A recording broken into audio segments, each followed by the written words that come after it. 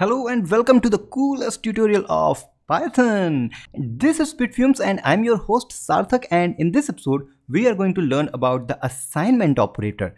We have seen the glimpse of assignment operator which is equal to in the last episode but let's now deep dive into this. So you know in the morning I go to the shop and purchases four bananas. Two for me and two for my sister. So let's type that. So bananas okay and I got 4 that's good. But uh, when I came back to home I realized that okay my dad also want to eat banana.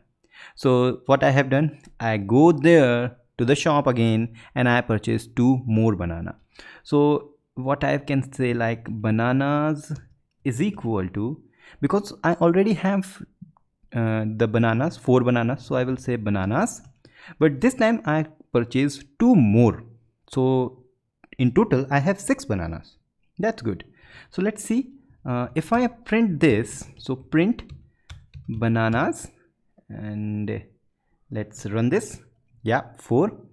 But if I print bananas after this line we expect six which is good.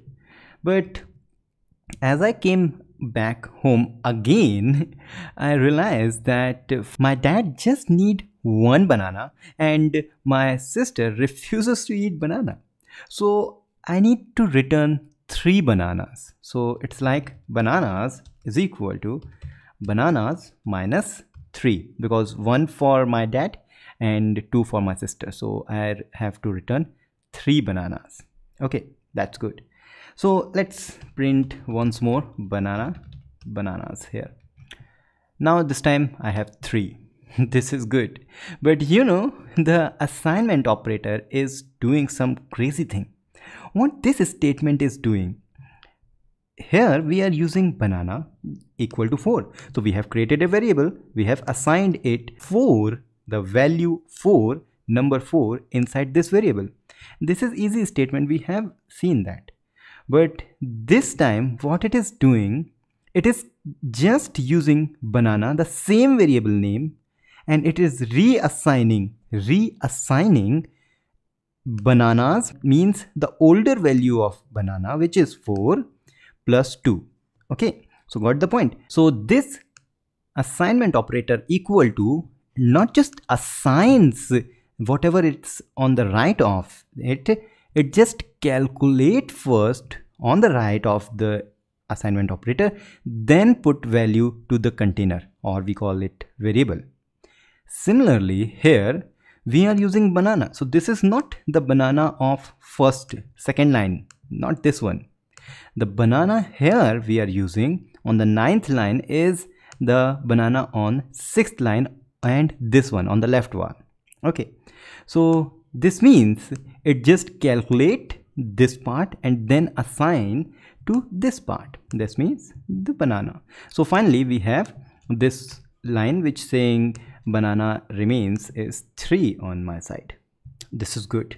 But you know python makes these things more more easy. How? You can just skip because you are using same variable name. So why write two times? So here. Inside this we can say banana plus equal to 2 so what this statement? This is exactly same to this statement. So if i comment this and i will say bananas plus equal to it is same. Let's run it. Okay so i don't need to give a space here because as i have told you python is space sensitive okay so now 6 again. So it's same this line is same as this line.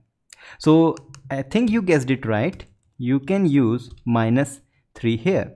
So we have 463 let's run once more. 463 same result. So this is assignment operators and we have used this. So I think you guessed it right. We can use multiply also this means banana is equal to banana multiply by 3. So think about this. We have 6 here. 6 banana, 6 3s are 18. So we should expect 18. That's good. And similarly, we can use double star to uh, raised to the power so or exponential operator so 6 to the power 3 that means 6 into 6 into 6 is 216 similarly we know we can use divide equal to yeah this is good. And if i use double yeah dot zero is gone. Decimal place is gone. Only integer. Then we can use modulus also. And 6 mod 3 is 0 we know because it is exactly divisible. So these are the assignment operator used in python.